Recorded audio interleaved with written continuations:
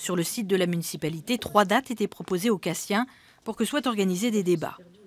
Le 28 janvier, le 4 février et le 8 mars.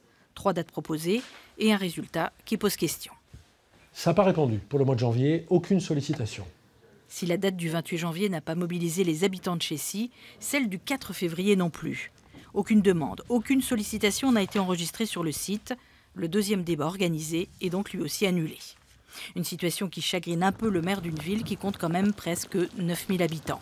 Alors que se passe-t-il à Chessy Défiance vis-à-vis du politique, des intérêts ou fatalisme, sûrement un peu détroit. Même si on y va et tout, même si on écrit, ça va changer quoi? Rien.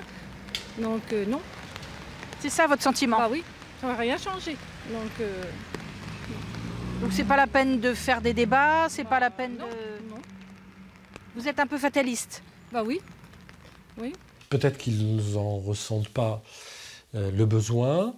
Peut-être que euh, deux choses. Euh, le début a été très flouté, très, très perturbé, chaotique, on peut le dire comme ça.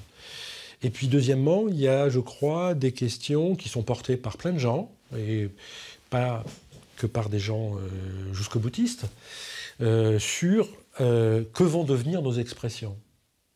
Euh, est-ce qu'on sera, vraiment entendu et euh, est-ce qu'on aura euh, sincèrement, légitimement, un certain nombre de réponses aux questions qu'on peut se poser? Pas de débat organisé à Chessy pour l'instant, mais des doléances tout de même. Une petite cinquantaine avec en tête des revendications, le rétablissement de l'impôt sur la fortune ou l'annulation de la CSG pour les retraités.